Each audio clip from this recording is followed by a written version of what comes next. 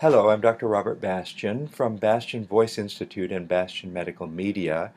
I want to provide for you a brief overview of anatomy of the upper aerodigestive tract. The reason is that you will then be able to look at other materials on Bastian Medical Media and be oriented to what you're looking at. So let's get started. On the left you will see a frontolateral view of a model just so that you can understand the nature of the lateral view that we're going to spend a little time on first. So let's go over here to the right and just look at, kind of orient ourselves. Here's the opening between the lips, here's the opening of the nose, and through the mouth we come on top of the tongue and down with air into the larynx, entrance of the larynx, past the vocal folds and down into the trachea. So this is the airway, but we use this same space through the mouth to swallow food posteriorly down into the foodway. So it's a shared airway and foodway until we get to about here where we develop a dedicated airway and a dedicated foodway. So we can't put food into the uh, airway and we're set up so that that doesn't happen. Now if we look at the nose, you see the, or the palate, I guess I should say, the upper part of the mouth is this hard palate first, and then there's a soft palate, which in the middle ends with that little finger-like projection called the uvula. Here you see the opening of the eustachian tube. These are called turbinates that congest when you get a cold and make your nose stuffy. So that's the orientation in, uh, in general. Let's go a little closer in now and let's begin to look a little more cl closely at the larynx which is this area here and then let's go even more close close up and here is the larynx. It's comprised of the epiglottic cartilage here the thyroid cartilage which is the Adam's apple or the Eve's apple and then there's a little dent and if you feel this on your own neck you can feel that little dent and then there's the second lower hard bone. This is called the cricoid cartilage. In women this is a little more prominent often and in men this is more prominent. Uh, here's the back end of the cricoid cartilage. So it's like a signet ring swinging around to the side and it actually rises along here until it rises to the top of the cricoid. So that's the contour of the cricoid cartilage. And on the top of this cricoid cartilage, right in here, buried in this soft tissue, is the arytenoid cartilage. And to the arytenoid cartilage is attached the vocal fold coming forward. So this is the free margin, the white line here, but the muscle of the vocal fold inhabits this area right here. And then the, for those who are interested in more detail, this is called the ventricle, this, this slit-like space, and then this is the false fold. This we call the petiole of the epiglottis right here. This is called the aryepiglottic fold in here, this part, and then you see the epiglottis that ends in its tip. This is called the vallecula or little valley. So that's maybe too much information, but there it is. Now we've looked from the side. Let's take the journey from above down into the larynx. And so turn your orientation from the side view of just one vocal fold. Now we're going to come from the front, travel across the base of the tongue, across the top of the tongue first, and then, so we're going to come across the top of the tongue and look down into the voice box here in the throat and then we'll look come up above the palate through the nose and come down and look into the voice box. So let's do those, uh, get you oriented there. Here's from the front, you see the jawbone or mandible, the lower teeth. You see the tongue sitting just uh, a little bit above what you would see if you looked in the mouth. This is the voice box right here, the thyroid cartilage, the cricoid cartilage. Here, by the way, is one of the lobes of the thyroid gland and there are a lot of muscles that have been taken away, but here's one set of muscles. Now I'm going to tip and come over to the right, and you're beginning to see the top of the tongue a little better, and I'm going to keep rotating it tip of the tongue downwards, and you're going to start to see what's beyond the base of the tongue back here. and you can see now the arytenoid cartilages are just beginning to peek into view and then as I rotate even farther now you can see the epiglottis start to appear here and this dark space right here is where air goes and food goes back here behind down into the esophagus. So we're tipping it even more. Base of tongue is here. This is the epiglottis and the food when you swallow it comes around here and down into the piriform sinus here and into the esophagus which is behind the larynx. This is the other piriform sinus.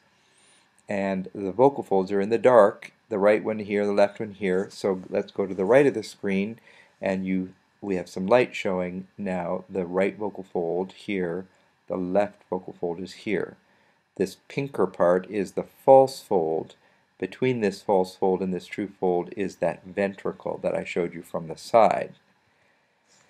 Now let's show you how we get through how do we get the images that are in the uh, encyclopedia and in the photo gallery and the video gallery? Well, we come across the base of the tongue uh, is one method and through the nose is the other. It looks impressive on the right side, but with a little topical anesthesia, it's actually very easily tolerated.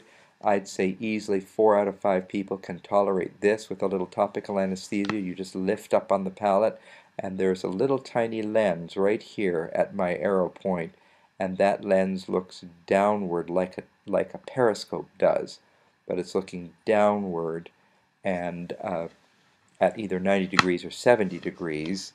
And um, now coming through the nose and again don't feel sorry for the nose because it's numb. It doesn't really care as long as there's a little spray put in there and then it's flexible and it's turned downward to look into the voice box. There you see a little bit of light, and there's a tiny lens.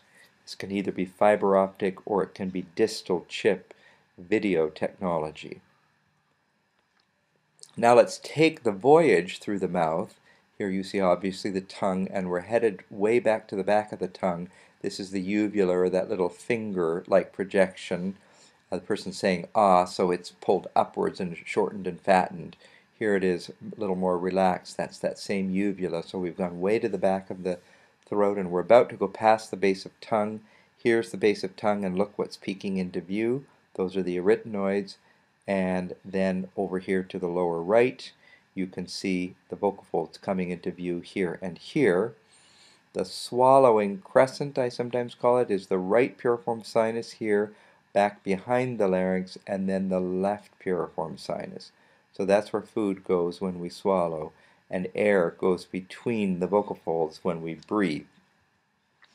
Now let's take the journey through the nose. We've started at the nostril, so there are the nose hairs, or the vibrissae as they're called. Here on the upper right, we're about halfway through the nose. You see the turbinate bone here on the uh, right of the screen, and then this is the septum, which divides the nose into two parts. Come to the lower left, this is clearly a young person because look how prominent the adenoids remain.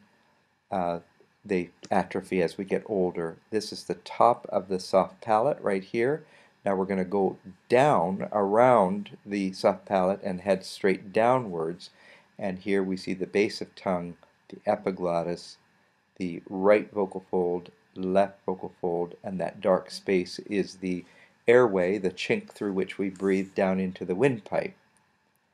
And do keep in mind, right will always be on your left, and left will always be on your right, just as when you're looking at a person in front of you, their right is to your left.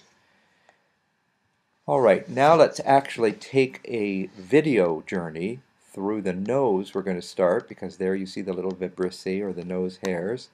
Through the nose, so we come along the floor of the nose, and again the nose doesn't care.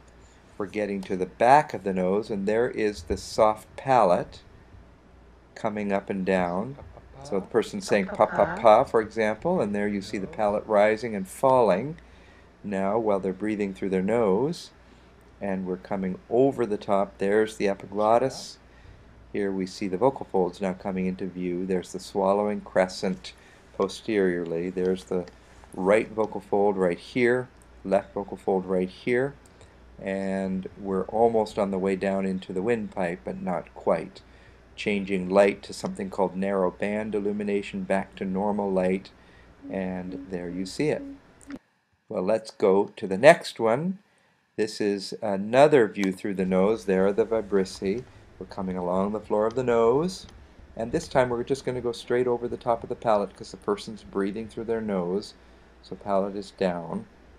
And notice that these vocal folds don't come fully apart. And you'll see the reason why the person's breathing and yet that vocal folds are not separated. And if you look carefully, you'll see a little scar band up here at the top.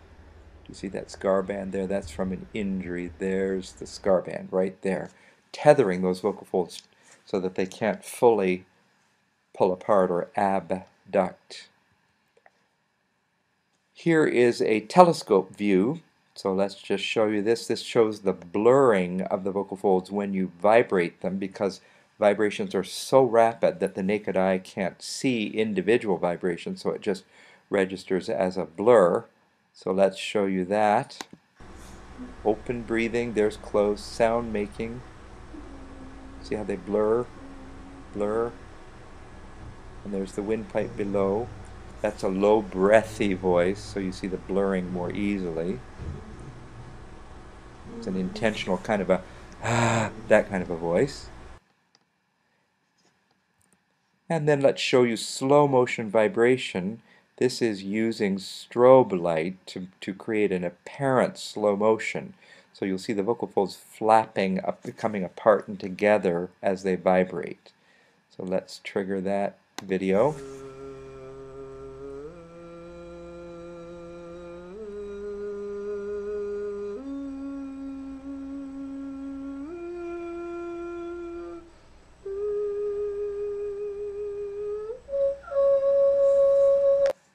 Now that's hundreds of times per second that we're slowing down so that it looks like it's two vibrations per second.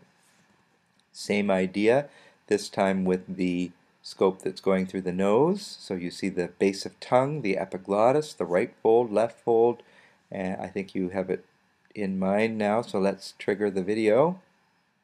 Over the top of your palate, there's your tongue, base of tongue, the sort of area. It's a little laugh the epiglottis is sticking up at us and chin up a little bit. Good, and there is your Go down closer. There you see some rings of the trachea deep inside. And then in a minute the person will make voice. There we go. Little staccato. And then we'll go to blue strobe light. Here comes the strobe. Slow motion vibration. Nice match.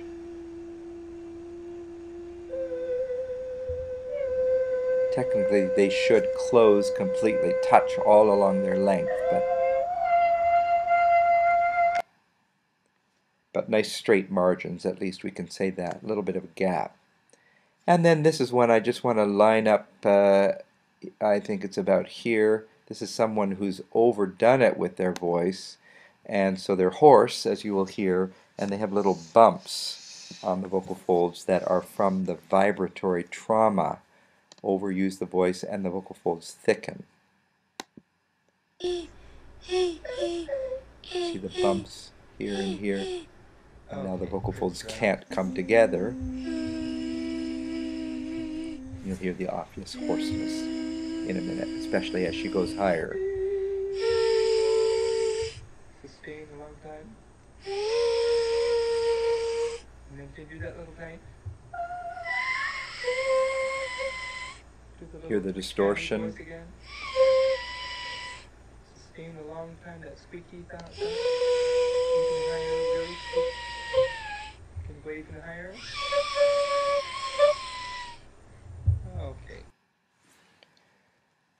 Well, there is your overview of the anatomy, and I, as you look at other images, uh, again, I hope this helps. Thanks for listening.